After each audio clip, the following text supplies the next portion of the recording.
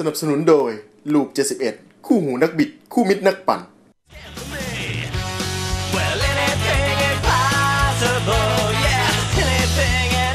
ครับขอต้อนรับท่านผู้ชมกลับมาสู่รายการ Speed Rider ในเบรกที่ 2 นะฮะ เบรกนี้เราก็ยังมีเรื่องราวดีๆนะฮะกันกันต่อนะฮะ พร้อมทั้งในเรื่องของการตอบคำถามทาง SMS และ phone in นะฮะ แต่ก่อนอื่นต้องขอขอบคุณผู้สนับสนุนรายการก่อนครับ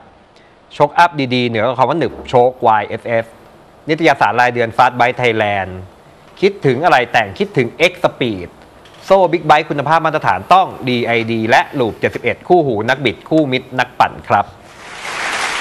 อะแล้วก็อีกหนึ่งสปอนเซอร์ใจดีของเราครับครับกับร้านครับผม ดีเจริญยนต์นะครับต้องบอกว่าเป็นร้านซื้อขายบิ๊กไบค์มือสองมีทั้งสดแล้วก็ผ่อนมีบริการจัดไฟแนนซ์ด้วย พร้อมทั้งอ่าการจัดส่งทั่วประเทศนะครับ คุณผู้ชมคุณผู้ชมที่สนใจนะครับสามารถติดต่อที่เบอร์ 0 9 9 0 0 4 0 0 7 0 นะครับ กับดีเจริญยนต์หรือว่าดีบิ๊กไบค์นะครับ เข้าไป search อ่า ในในเพจก็ได้ใน Facebook ก็ได้นะครับในเว็บไซต์ก็ได้อ่าในเว็บไซต์ก็ได้นะครับ เรียกว่าผมรถดีราคาถูกสภาพนางฟ้า พร้อมจัดไฟแนนซ์ให้เรียบร้อยเลยใช่ไบค์มือสองบิ๊กไบค์มือสองสภาพดีอืมช่วงนี้ก็ต้องบอกว่าเดี๋ยวหมดฝนก็เป็นช่วงกระแสของการออกทริปออกทริปแล้วแล้วใครยังไม่มีรถ รถยังไม่พร้อมจัดไปกับดีครับเจริญยนต์รถดามืวอสองขี่สามเดือนแล้วปล่อยเลยทุกวันก็ไหวก็ก็อันนั้นก็ว่ากันไปจะรีบไปไหนหรือออผ่กอนทริไหปวอย่างเดียวมาออกทริปอย่างเดียวอยากออกทริปกับเพื่อนก็จัดไปนะครับรถมือสองคุณภาพดีที่ดีเจริญยนต์นั่นเองครับผมอะวันนี้ในเบรกนี้เดี๋ยวเราจะมีบรรยากาศที่เราพี่บอมไป ขนุนครับ พี่เอกเราไปที่อยุธยามาอ๋อ เสร็จแล้วเหรอพี่ เสร็จเรียบร้อยแล้วครับ อ่า เราตัดมาให้คุณผู้ชมได้ชมกันกับบรรยากาศงาน X Speed อยุธยาครับผม อะไปดูภาพบรรยากาศงานกันครับ เป็นอย่างไรบ้างอะ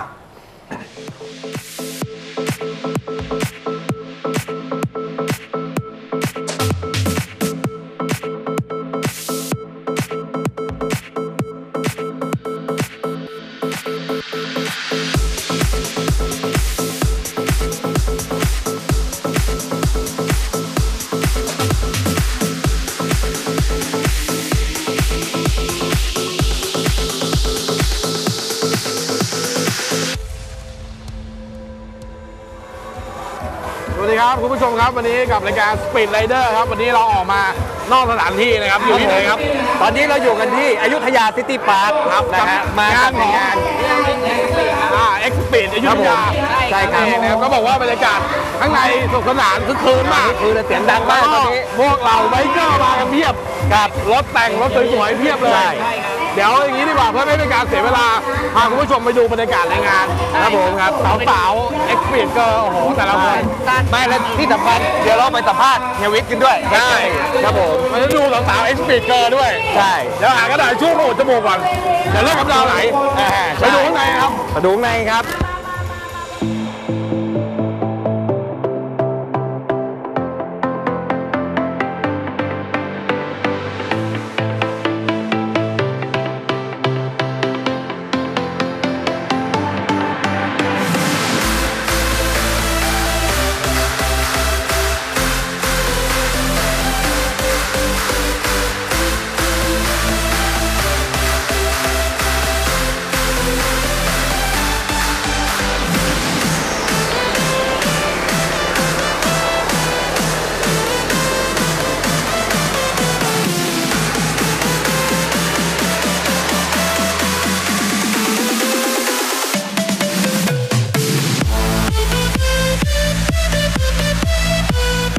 ครับแล้วก็ต้องบอกว่าตอนนี้เข้ามาอยู่บรรยากาศในงานแล้วนะครับ แล้วก็เจอกับเฮยวิทแล้วสวัสดีครับผมเฮยวิทอีกท่านหนึ่งก็คือพี่เอกใช่ครับผมคุณเอกเอ็กเอ็กซ์เปดอยุธยาได้ครับอะก็ต้องให้พูดถึงความเป็นไปเป็นมาของงานนี้ก่อนต้องคุณวิทย์ก่อนหรือว่าคุณเอกอะคุณเอกก็ได้อะได้ครับครับ ก็คือ งานงานเนี้ยเป็นงานประจำปีก็ถือว่าตอนนี้ถือว่าเป็นงานประจำปีของของเราดีกว่าอ่าคือเราจะจัดตั้งแต่ปีปีที่แล้วเนี่ยเคยจัดแล้วครั้งหนึ่ง อ๋อนี่ครั้งที่สองแล้ว ครั้งที่สองครับครั้งที่สองก็มีมีการหนึ่งในกิจกรรมคือการประกวดรถอ๋อาแต่จะเป็นรถมินิไบค์ครับเป็นส่วนใหญ่ครับผมก็ปีนี้เป็นไงครับฟีดแบ็กของการตอบรับเป็นไงคือปีที่แล้วว่าดีปีนี้เนี่ยเออดีดีขึ้นดีขึ้นมากๆคเพรับราะผมเห็นรถเยอะมากเยอะครับตอบตอบรับมาเป็นร้อยร้อยๆกลุ่ม ครับผม ก็คือยืนยันว่ามีงานจัดขึ้นทุกปีแน่นอน มีทุกปีแน่นอนแล้วก็ครับพยายามจะใหญ่ขึ้นดีครับ ขึ้นทุกปีครับ ก็ต้องบอกว่าเป็นที่รวมของเหล่าไบเกอร์ทั้งหลาย โซนประมาณนี้อยุธยาครับ สระบุรีอะไรใกล้ๆแถวๆนี้ใช่รวมทั้งที่อื่นๆก็เดินทางมาด้วยใช่ครับ อ่าแล้วต้องบอกแล้วในงานมีกิจกรรมอะไรบ้างครับ ก็มีอ่าหลักๆ คือการนอกจากประกวดรถอ่ามีการประกวดรถสองก็คือมีคอนเสิร์ตอ่ามีคอนเสิร์ตด้วย Sweet Mullet อ๋อครับผมครับ มีคอนเสิร์ตด้วยครับแล้วก็ที่ขาดไม่ได้ของ X Speed เลยก็คือ สาวสาวๆอ่า X Speed ก็อ่าใช่ครับอันนี้นี่คือตัวอย่างเฉยๆนะครับผมเพราะถ้ามามันเยอะกว่านี้มันจะหลุดเฟรมใช่ เพราะน้องเขาแบบกว้างมาก ต้องใช้เลนส์วาย อาจจะไม่สนใจเรา อะอย่างนั้นเดี๋ยวครับ ทางคุณคุณวิทย์หน่อยครับ โอเคครับ ยังไงบ้างครับกับงานครั้งนี้คุณวิทย์ก็ happy ครับว่าวันนี้ก็ดีใจแทนพี่ด้วยก็พี่น้องๆรถเล็กรถใหญ่มินิไบค์เราก็มาร่วมงานกันเยอะมากอ่า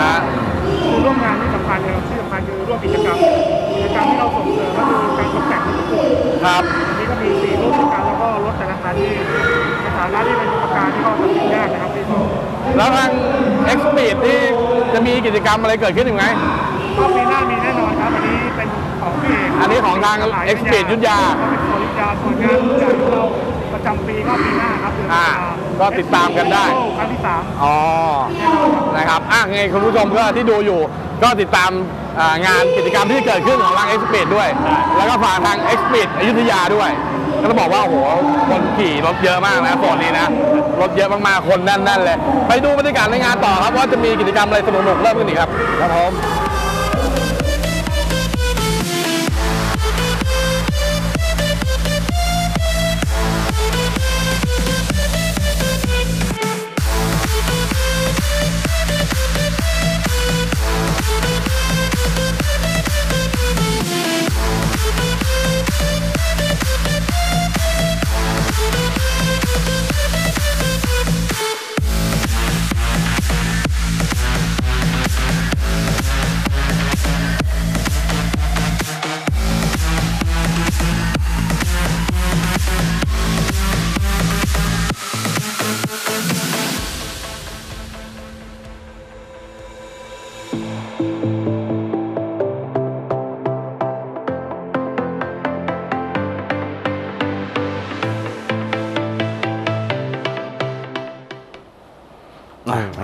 ากาศในงาน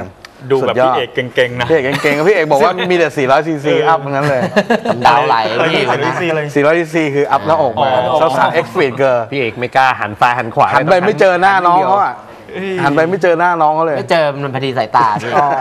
เลยไม่ก็บอกว่าล้เป็นบรรยากาศงานดีๆ สุดสนุกนะครับ ที่ทาง X Speed จัดขึ้น อ่าแล้วก็ทาง X X Speed อยุอยุธยาคุณเอกคุณเอกครับก็บอกบรรยากาศในงานก็มีเราไบเกอร์ทั้งหลายในโซน ใช่ โซนใกล้เคียง จังหวัดใกล้เคียงก็มาร่วมงานกันเรียกว่า แน่น ๆ เลยแน่นครับผมแน่นนะครับมีการประกวดรถสวยใช่ ๆ รวมทั้งสปอนเซอร์ใจดีของเราก็ไปออกบูธด้วยทั้ง Lube 71 ทั้ง ครับผม YSS ด้วยนะใช่อะก็บอกว่าเขา confirm แล้วว่างานมีทุกปีแน่นอนครับผม นี่ก็เป็นอีกหนึ่งเครือข่ายจาก X Speed จากกรุงเทพใช่ไหมครับไปนี่ไปอยุธยาละใช่แต่คนนี้ก็อาจจะกระจายไปสู่แบบว่าจังหวัดต่อๆไปด้วยใช่เพราะว่าจไหมคบริงๆ แอบคุยกับทางคุณวิทย์คุณวิทย์ก็บอกว่าเขาก็เปิดดีลเลอร์ครับ หรือว่าใครที่สนใจก็ติดต่อเข้าไปได้นะเขาเปิดอ๋อ dealer หลายประเทศอยู่แล้วก็เป็นแฟรนไชส์นะ X Speed แล้วต้องบอกอย่างอ่านี้ครับเป็นแฟรนไชส์ใช่สนใจใช่นะครับอืมมาทีนี้เข้าเรื่องของเรากันดีกว่ากับครับ s ครับ p ผมแล้วก็โฟนอินนะครับอ่าคุณผู้ชมที่สนใจเอ่อที่คุณผู้ชมที่มีปัญหาเรื่องรถนะครับก็สามารถโทรเข้ามาได้ที่ 0 2 5 3 0 9 4 9 6ถึง98นะครับ SMS 4 8 2 7 7 7 2 พิมพ์4เว้นวรรคตามด้วยคำถามมาได้เลยนะครับ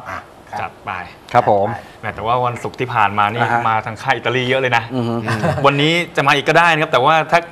จากญี่ปุ่นหรือว่าจากทวีปอื่นเราก็รับตอบนะครับจัดไปนะครับได้หมดเน้นสงสัยอยากรู้เรื่องรถก็ต้องนี่ครับสปีดไรเดอร์ของเราครับผม ข้อมูลอะไรก็สอบถามกันมาได้นะคครัรับบอะมา SMS มาเลยครับคำถามแรกจะเป็นอะไรวันนี้อืมนะครับยังลุ้นกันอยู่อะมาแล้วนะครับนูวาลโซนิกวาลยันตั้งใหม่แล้ว จะเป็นอีกไหม ถ้าซ่อมเท่าไหร่อืมวาลยันวาลยัน การใช้งานมันมีการวาลยันอยู่แล้วครับ ครับ ถามว่าเป็นไหมมันตั้งได้ตัวครั้งหนึ่งเนี่ยต่อวาล์วเนี่ยประมาณ3าถึงสครั้งครับ ถ้าเกินถึง5ครั้งแล้วเนี่ยสมควรที่จะถอดออกมาแล้วครับ เพราะวาล์วมันจะซุดอืม ซุดไปแล้วไอ้ตัววาล์วอย่างเดียวไม่เท่าไหร่จะทำบาเราเสียไปด้วย บ่าววาวซุปอืม ไอ้ยใช่ บ่าววาวศึกใช่ อ่ามันเลยสมควรที่จะถอดออกมาทำครับทักสามครั้งเนี่ยตั้งทักสามครั้งสี่ครั้งเนี่ยน่าจะถอดออกมาได้แล้วครับ แล้วก็ไปดูหลังวาล์วด้วยครับว่ามันยันมากเกินไปหรือเปล่า หรือว่าสปริงเราเนี่ย เสริมจนแข็งเกินไปหรือเปล่าวิ่งครับ แต่พังไวอืมครับ ตัวนี้จะมีค่าของมันอยู่ใช่ไหมพี่ คือค่าอ่าค่าไม่ ของสปริงอะไรอย่างนี้อยู่แล้วใช่ไหม สปริงเนี่ยอ่า พวกเราที่โมดิฟายกันอยู่เนี่ยก็คือเอาสปริงเดิมมาทำครับ แต่จะเสริม แต่บางคนเนี่ย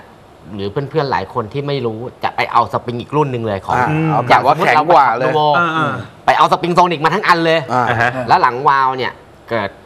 เหมือนกับ 3 5 3 6 3 7เนี่ยมันจะมีหลังวาล์วของแต่ละสเปคร้านเขาครับอืม หลังวาล์วกับแคมต้องสัมพันธ์กันเกิดใส่เข้าไปแล้วเนี่ยมันยันเกินหรือแข็งเกินไป อืม ถามว่าช่วงต้นวิ่งดีไหมดีครับ แต่ละวาล์วสุดไวตรงนั้นก็มีปัญหาตรงที่ว่าสปริงหรือหลังวาล์วเราชิดเกินไปหรือแข็งไปครับอืมเขาบอกว่าถ้าซ่อมราคาเท่าไหร่พี่ ซ่อมต้องดูหน้างานครับว่าวาล์วคุณเป็นที่ถ้าเปลี่ยนแค่ตัววาล์วเนี่ย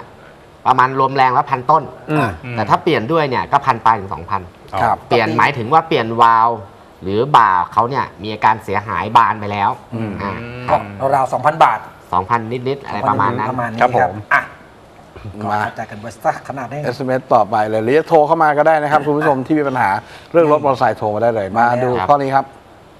จะเปลี่ยนแบตใหม่ของเดิม 12 โวลต์ 2.5 แอมป์ จะเพิ่มเป็น 5 แอมป์น่าจะ 5 แอมป์แน่เลย อะ อ่า ได้ปะครับครับถามผมได้ครับ ในกรณีนี้ส่วนใหญ่ Wave นะทุกวันเนี้ย Wave ร้อยสิบอะไรพวกเนี้ยจะมาแบตประมาณ 2.5 3 แอมป์ครับ Fino Filano ก็ประมาณ 2 แอมป์2.5 ถึง 3 แอมป์อะครับผม up เป็น 5 ได้ครับ แผ่นชาร์จรับไหวครับ อืมคือไม่มีปัญหาว่างั้นเถอะ ไม่มีครับ เปลี่ยนไปเลยเปลี่ยนได้ครับ ม่มีปัญหา ครับผม ราคาก็แพงกว่ากันหน่อยเดียวใช่ ใช่ อะนะครับเขาก็เปลี่ยนกันแล้วทั้งนั้นแหละส่วนใหญ่ก็เป็นครับผม 5 แอมป์ แล้วทั้งนั้นแหละเพราะที่เป็เป็นน 2.5 3 แอมป์พี่หายากกว่า 5 แอมป์ทุกวันนี้ส่วนใหญ่ก็เป็น 5M หมดแล้วอ่า น่าจะเป็น Royal Enfield จอดรถ RE ทานข้าว อ่าฮะ โดนมือดีอะไรเนี่ยถังน้ำมันขีดถังน้ำมันแผลลึกแผลลึกแนะนร้านทำสี หรือเปล่า น้ำำยาน้ำยาให้หน่อยครับน้ำยา แผลลึกเลยเหรอ โอ้โหแผลลึกน้ำยาอะไรก็เอาไม่อยู่ครับ ใช่ครับถ้าแผลต้องลึกต้องเป็นน้ำร่องยาเลยนี่นะพี่ อะฮะ น้ำยาโป๊สี น้ำชาโปรสีไม่คือ โป๊สีแล้วคือรอยโป๊ร่องทำไมริ้วรอยต่างๆ ที่มันเกิดขึ้นจากบนรถเนี่ยเราต้องดู step แรกก่อนว่าครับมันกินลึกถึงถึงเนื้อเนื้อเหล็กหรือเปล่า ถึงสีผิวถึงสีเลยหรือเปล่าอ่าชั้นแรกมันจะเป็นแลกเกอร์ก่อนอ่าใช่ครับถ้ามันเป็นรอยแค่แลกเกอร์เนี่ยพอขัดออกได้อ่าอาจจะเริ่มจากเอ่อขัดขัดหยาบขัดแล้วก็ขัดละเอียดใช่เก็บใช่งานอีกทีหนึ่งอืมแต่ถ้าถึงสีแบบสีถลอกหรือเหล็กแล้ว ขัดยังไงก็ไม่ได้ขัดยังไงไม่อยู่ครับมีอันหนึ่งก็คือสีเอาสีแต้มอ่าฮะสองก็คือทำสีเลยอืมต่อแนะนำให้ทำสีดีกว่านะนะครับหรือเพไม่ เพราะว่ารถของเราเอง ถ้าเป็นรอยเล็กน้อยเส้นบางๆ ไม่ยากมากหาซื้อสติกเกอร์ครับหรือเข้าร้านสติกเกอร์ก็ได้ให้เขาตัดเป็นลายเส้นแล้วสติ๊กเกอร์ให้แปะมันสไปเลยว่าไปเลยครับอะไรอย่างถ้านั้เป็นนงั้นมันก็จะคืถูอกถ้ากว่า อย่างว่าอารมณ์ขนแมวเนี่ยเราก็มีผลิตภัณฑ์ต่างๆใช่ไหมครับที่แบบว่าเข้ามาคอยซัพพอร์ตแต่อันนี้เราก็ไม่รู้ว่าลึกขนาดไหน แนะใช่แนะแล้วก็ไม่นำรู้ของว่ากว้างแนะแค่ไหนนำแนะนำของถูกและดีไปอันหนึ่งอะไม่ใช่สปอนเซอร์เราแนะนำเลยอ่าฮะกาหน้าไปหาซื้อร้านอะไรถูกบต้องอกเขาเอากาหน้าอ่าฮะ กาหน้ากระป๋องหนึ่งเนี่ยขัดได้ทุก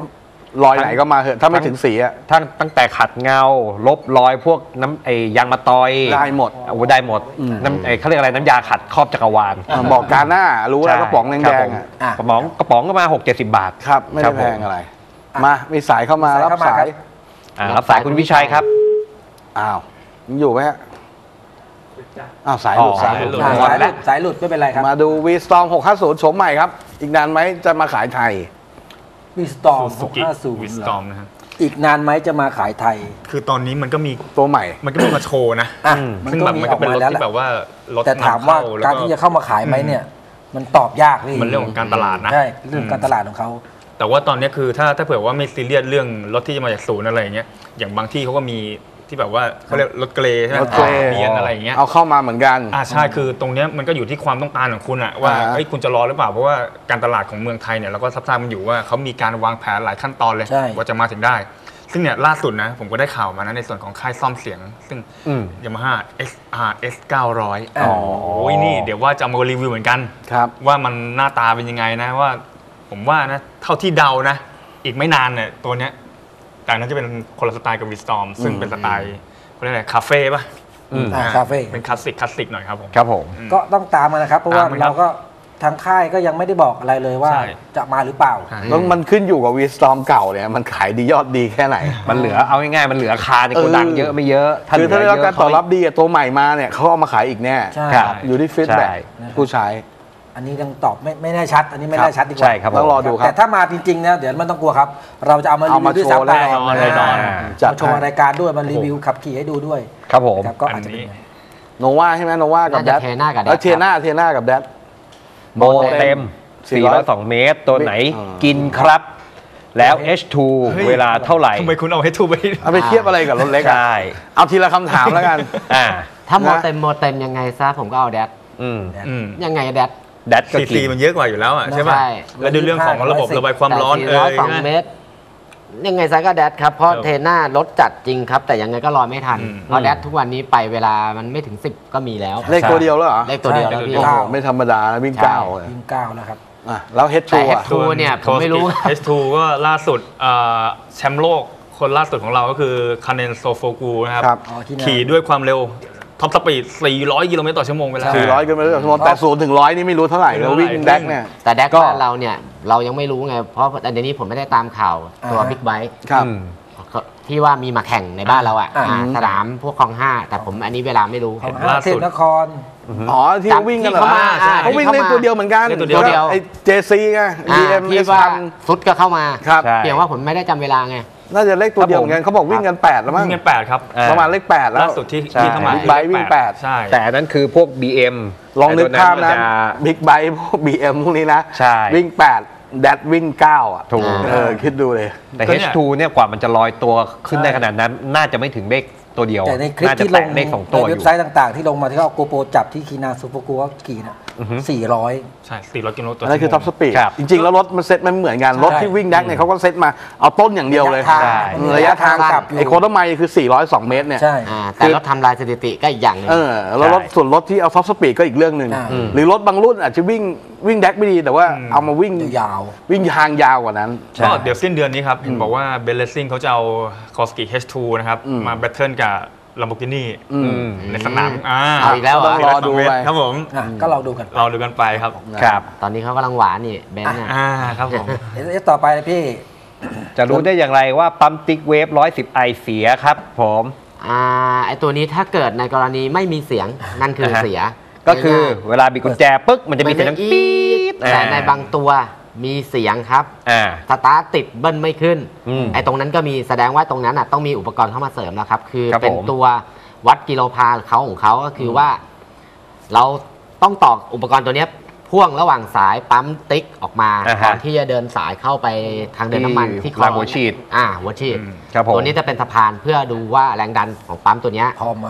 พอไหมตกไปขนาดไหน ตกอยู่ที่ในเกณฑ์ที่รับได้หรือไม่ได้ครับแต่ถ้าผม ตกกว่าตรงนั้น ก็คือปั๊มคุณเสียหรือเสื่อมเสื่อมนั่นเองเสื่อมครับแรงดันมันต่ำอ๋อก็คือว่าปั๊มติ๊กเนี่ยมันมีแรงดันที่กำค่าที่กำหนดอยู่ใช่ครับเพราะอย่างสมแต่ละอย่างรุ่นสมเนี่มุยติว่ามาต้องมาบาร์หนึ่งอ่าฮะพอวัดไปแล้วมันไม่ถึงอ่าก็คือด้วยอาการเริ่มแรกที่มันจะเสียใช่ครับมันมันแรงดันตกแรงดัก่อนนตกแล้วมันลดที่ขี่ได้อยู่ แต่รอบใช่สูงๆเนี่ยทันที่แรงดันมันจะถึงน้ำมันไม่มาใช่ไม่พอสะดุดใช่นี่คืออาการเริ่มแรกของปั๊มติ๊กเนี่ยแรนะงดันใช่ไม่ครับถึงแรงดันไม่ถึงนั่นเอง ก็คือเราเช็คก็คือ เราไม่มีสิทธิ์รู้ต้องใส่อย่างที่พี่เอกบอกใช่ใส่เกวัดเป็นอุปกรณ์เสริม ต้องใส่เกวัดสามทางพ่วงเข้าไปแล้วก็ดูว่าแรงดันขึ้นเท่าไหร่ อ่า ที่ดีที่สุดก็คืออุปกรณ์ตามศูนย์ครับผม เราเคยแนะนำว่าอย่าไปทำเองด้วยนะ ใช่ ถ้าผิดพลาดขึ้นมานี่พุ่งปี๊ดพุ่งพุ่งพุ่งพี่ เอออ่า เพราะตอนนั้นเคยมีพี่เรามาลองกันอยู่แล้วถ้าพุ่งไปโดนท่อไอเสียแล้วร้อนนี่นะฉีดขึ้นไปเลยอ๋อ พุ่งไปโดนท่อไอเสียแล้วร้อนกับตัวใครตัวมันเลยนะ แช่เลยนะครับเอสต่อไปครับ อ่าอ่าจะซื้อ CBR พันปี 2013 มือ 2 ได้เบรกแบมโบ แฟตแฟดลอมแล้ว แล้วก็อะไรอีกเอ่ยสี่แสนไปปลายๆดีไหมครับ ชอบ Honda โอ้โหสี่แสนไปปลายๆตอนเนี้ยปลายรถใหม่ก็สี่แสนไปปลายๆนี่รถปี 2013แต่เขาบอกเขาได้เมมเบอสอร์งพันสิบสามนี่เป็นมันเป็นเวอร์ชันล่าสุดนะอืมแฟดลอมก็20,000อะประมาณอ่า20,000แบมโบแบมโบได้ล่างได้บนแล้วแบมโบไม่รู้ตัวไหนอะถ้าอ่าแบมโบใช่ผม M4 อะ20,000 20,000ไปปลายๆเท่ากับว่าได้มาประมาณ50,000ห้าหมื่นเออ50,000แค่50,000กับ ปี 2013 ก็ไม่คุ้มก็ไม่คุ้มอยู่ดีรถใหม่มาสี่แสนกว่าก็เดี๋ยวปีหน้าราคาก็มสี่แสนปลายพอกันปีหน้าตัวใหม่ต้องใหม่อีกมาแล้วใช่ที่เราเพิ่งรีวิอ่าวเพิ่งรีวิวไปใช่ครับแล้วตัวนั้นให้มาท่วมเลย แต่ยังไม่รู้ราคาเท่านั้นเองอ่าใช่ก็อีกแหละว่าพี่เขาอาจจะอยากเล่นโฉมนี้หรือเปล่านะฮะแต่สี่แสนปลายนี่แพงไปแพงไปมันราคาถ้ามีแค่เนี้ยมันผมว่ามันมันครับไม่มันไม่เหมาะอะใช่ใช่ป่ะมันน่าจะมีอะไรที่มากกว่านี้ครับ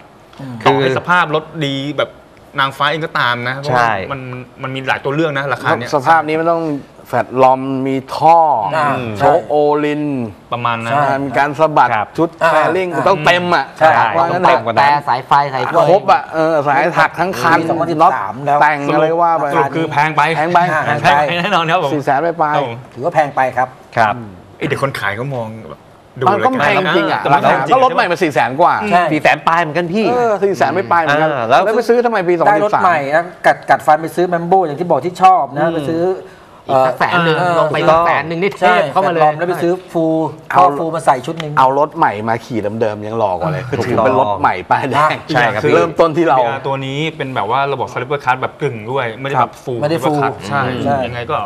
ไม่แนะนำครับ ไม่ใช่มันมันแพงไปนะครับแพงแต่ไป ถ้าพี่อยากจะได้ลองต่อเขาหน่อย เออ มันต้องต่อเขาอีก สักสามไม่สิบหน่อยกว่าพี่ อย่างเงี้ยนะต้องต่อเยอะนะ สามแสนอะไรอย่างเงี้ยนะน่าจะประมาณนี้สองนะให้ครับสามผมเดือนสองเออรวมของแต่งก็ว่ากันไป อะครับงั้นผม เดี๋ยวช่วงนี้ไปพักเบรกโฆษณากันสักครู่เดียวครับ ครับ One that still holds strong.